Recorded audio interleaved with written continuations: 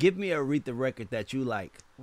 I feel like Jeff would have been there. one I could think of easily because I have a three year old daughter and we uh, we have a vinyl player in the living room and we put on uh, something he can feel by produced by written by Curtis Mayfield Mm. for Aretha and uh, man we just dance around and I hear that vocal performance every day of my life